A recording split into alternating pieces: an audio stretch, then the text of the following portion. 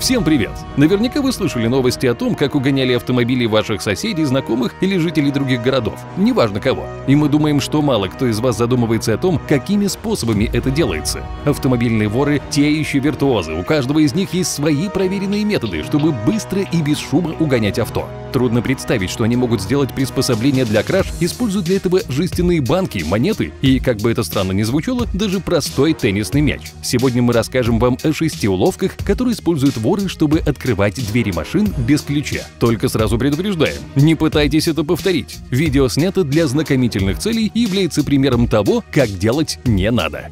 Ну что, поехали!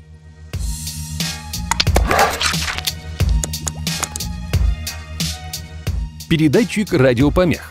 Начнем, пожалуй, с наиболее легкого. Этот метод является самым простым и эффективным из всех тех, что используют грабители. И он, как правило, используется для кражи более современных автомобилей, у которых есть ключи дистанционного открытия и закрытия дверей. Эти небольшие устройства называются передатчиками радиопомех или блокираторами. Они бывают разных размеров, с небольшую рацию или с целый чемодан, и используются, чтобы нарушить связь автомобиля и автоматического ключа. Как вы уже, наверное, догадались, для вскрытия машины достаточно небольшого приспособления. Интересно, как это делается? Устройство работает следующим образом. Блокиратор передает частоты шума или любую другую бесполезную информацию, которая заполняет канал сигнала автомобиля, не давая двери закрыться, в то время как владелец пытается закрыть машину ключом. Обычно жертва угона уверена, что закрыла дверь, но на самом деле автомобиль остается в полном распоряжении вора. Надувная подушка – Сначала может показаться, что этот способ из области фантастики, и вы, наверное, о нем раньше не слышали. Сейчас мы расскажем, как вскрыть автомобиль с помощью надувной подушки. Да-да, вы не ослышались. Это еще один эффективный способ открыть дверь автомобиля, находящегося на сигнализации. Тут все просто. Вор, который решил воспользоваться этим методом, берет такую подушку и в вздутом виде просовывает ее в щель между дверью и корпусом машины. Как вы можете заметить, происходит это абсолютно без проблем. Затем он начинает медленно ее надувать до тех пор, пока не откроется дверь. После этого вор, используя любой другой предмет, будь то палка или крючок, проникает вовнутрь, с легкостью открывает дверь и вуаля! Можете попрощаться со своим любимым автомобилем.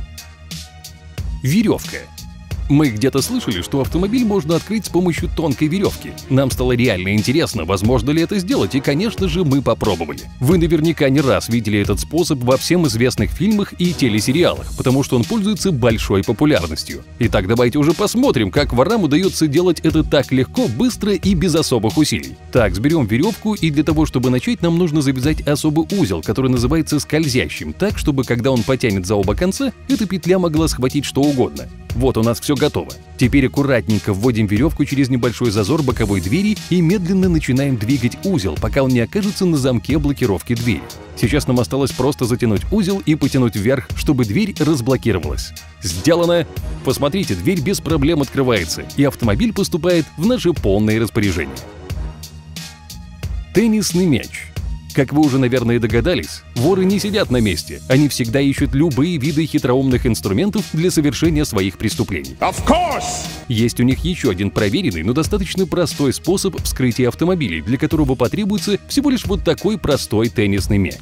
Итак, вор делает небольшое отверстие в мячике раскаленной отверткой. Правда, перед этим ее нужно где-то раскалить. Для этого прекрасно подойдет газовая горелка. Затем мяч вплотную прикладывается к замочной скважине. После этого нужно приложить немного усилий. Вор изо всех сил давит на мяч, давит, давит... Готово! Замок разблокировался. Выполненное вором действие может показаться странным, но все реально работает. Замок открывается просто потому, что давление горячего воздуха, который создается при нажатии мяча, заставляет механизм двери открыться. Жестяные банки. То, что вы сейчас увидите, является невероятно простым и эффективным методом, который частенько используется угонщиками автомобилей. Особенно хорошо он работает, если водитель эм, – женщины. Только девчонки, чур не обижаться. Просто у вас немного другое восприятие машин, которые изначально являются мужскими игрушками. Итак, вор привязывает банки к задней части автомобиля, чтобы вызвать побольше шума. Логичной реакцией водителя станет остановка транспортного средства, как только раздастся подозрительный звук. Водитель тут же выходит посмотреть, что же там не так. Наверняка оставив ключи в замке зажигания, а дверь открытой. Как раз в это время вор пользуется ситуацией, запрыгивает в машину и скрывается от вас на высокой скорости. Вам остается только поднять земли отвисшую челюсть и скорее бежать писать заявление об угоне. Монета. Некоторое время назад на свет появился еще один новый хитроумный метод, используемый ворами, чтобы украсть автомобиль или вещи, которые находятся внутри него. Здесь им вообще не придется тратиться, достаточно будет одной единственной монеты. Суть этого способа состоит в том, чтобы поместить монетку в дверную ручку автомобиля, как это делаем мы. Таким образом, сигнализация машины не включится, потому что эта дверь будет заблокирована монеткой и до конца не закроется. Обычно грабители выбирают сторону пассажира, потому что большинство водителей не осматривают эти двери и не обращают на них особого внимания. Так что если вы водитель или только собираетесь им стать, запомните и будьте осторожны. Не забывайте проверять все двери автомобиля без исключения. Прикольные гаджеты, технологии будущего, удивительные изобретения и другие крутые фишки, связанные с техникой, на канале Техзон. Подписывайся, не пожалеешь. Ссылка на экране и в описании. А на этом сегодня все. Моя мастерская, твое настроение.